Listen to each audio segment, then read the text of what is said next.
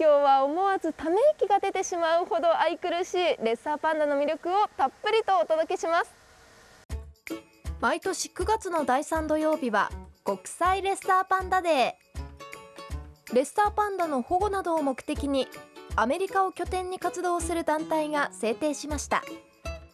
本当に可愛らしいレッサーパンダなんですけど今世界的にレッサーパンダの現状というのはどのようになっているんでしょうか？まあ、あのレッサーパンダ野生ではあのとても数が減っていましてあの、まあ、手厚く保護されないといけないような状況です。現在国内では200頭以上のレッサーパンダが飼育されていますが野生の数はこの20年で半分以下のおよそ2500頭にまで減ってしまいました。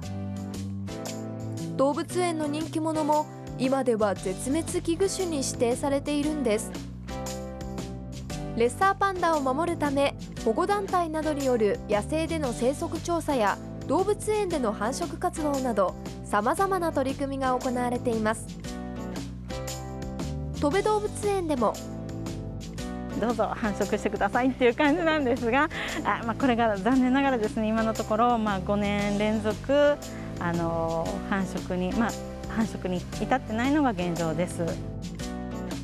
二宮キーパーが期待を寄せているのはオスのととまるくんとメスの小梅ちゃんのペアです。ととまるくんは、えー、癒し系の顔っていうんですか？可愛いですよね。はい、ほんわかほんわかしたような、うん、けど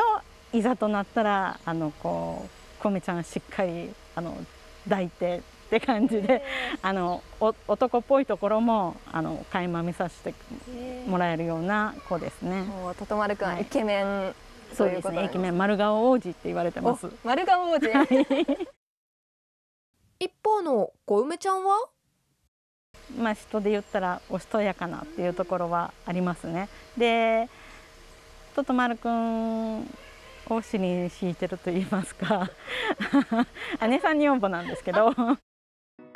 丸顔王子と姉さん女房のカップル。来年の赤ちゃん誕生に期待です。さらに戸部動物園にはととまるくんのお父さんのシャンチーくんも暮らしています。シャンチーくんはあの、まあ、14歳という年齢を重ねた、まあ、あのもうお年寄りの域に入ってるんですが可愛い系の顔っていうかねあの、うん老いを知らないというような顔ですので、あのまあ、活動的に結構動いたり木の上も登ったりとかしますので。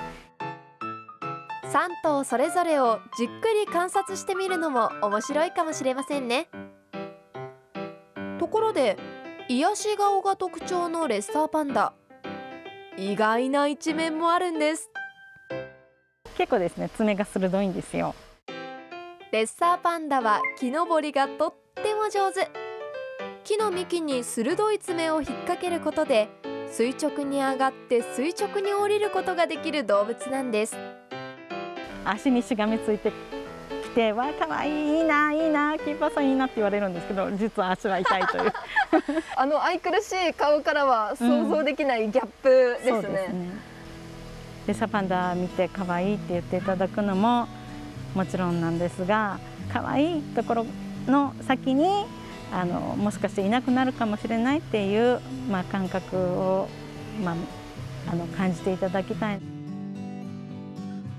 待ちに待った再会を迎えた戸部動物園